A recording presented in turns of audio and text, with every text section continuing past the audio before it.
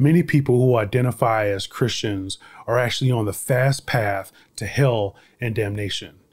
Just because you say you believe in God doesn't actually mean that you're a Christian. Uh, shoot, even demons believe in God, but they certainly aren't Christians. Do you believe you're a Christian because you consider yourself a good person? Or maybe you believe you're a Christian because you said a prayer once upon a time. Or, or maybe you think you're a Christian because you go to church on occasion. What does it actually mean to be a true Christian? Let's work it out. Work it out, work it out, work it out, work it out, work it out, work it out, work it out, work it out. As I have conversations and read through social media posts, I am personally concerned that there are a lot of people who claim to be Christian but probably aren't. You know, there's folks out saying things about the Bible that clearly isn't in the Bible, and these so called Christians are supporting things that are diametrically opposed to God and what Christ teaches. You know, it literally blows my mind. And you might wonder, well, what, what makes me an authority on who's a Christian and who isn't? Well, frankly, you don't have to take my word for it. In Matthew 7 and 21, one of the scariest verses in the Bible, Jesus says this Not everyone who calls out to me, Lord, Lord, will enter the kingdom of heaven. Only those who actually do the will of my Father in heaven will enter. In his letter to the Philippians, Apostle Paul says, For I have told you often before, and I say it again with tears in my eyes, that there are many whose conduct shows that they are really enemies of the cross of Christ. As a pastor, I gotta tell you, this really burdens me. I don't want to see people uh, falsely think that they're following God while in reality they're following the world or some made up version of God. Some people have made up in their own minds what they think it means to be a Christian.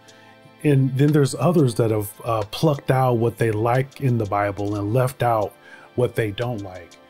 If you don't follow the God that has revealed himself in scripture, then you follow someone or something that is altogether different, one that you have made up all on your own. You see, once you encounter Christ and choose to follow him, you give up your old way of life. 2 Corinthians 5 and 17 says, This means that anyone who belongs to Christ has become a new creation. The old life is gone and a new life has begun. So you can't go around and, and go back to your old lifestyle and continue to sin. If you continue to sin and don't feel the need to stop and ask God for forgiveness, it might mean that you aren't a true Christian. However, this isn't a form of behavior modification either. You, you know, when you truly understand who God is and what He's done for you, you'll want to be obedient and do what is pleasing to Him. Galatians 5 and 16 says, So I say, let the Holy Spirit guide your lives, then you won't be doing what your sinful nature craves. Or Matthew 7 and 16 helps us to see if we are truly followers or not. It says you can identify them by their fruit, that is, by the way that they act.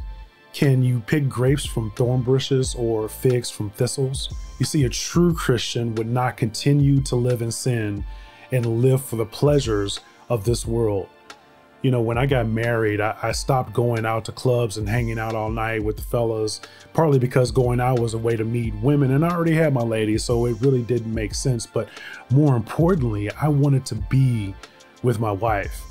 You know, I just stop doing those things in order for her to love me more. I did them to show my love for her and my devotion for her as well. I encourage her, I do things for her and buy her gifts because I want to please her and make her happy.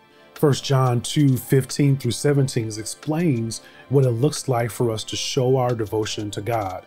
It says, Do not love this world nor the things it offers you.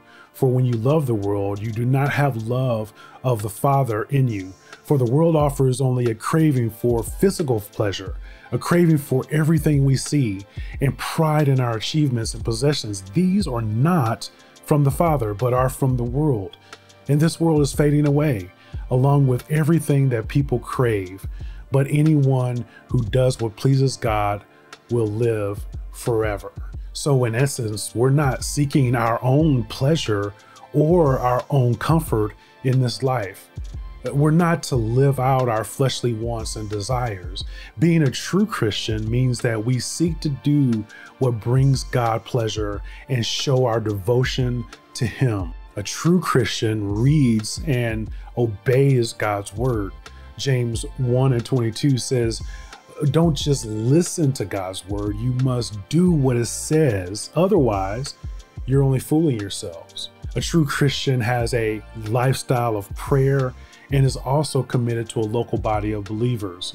We find this in Acts 2 and 42, where it gives us an example of what this looks like.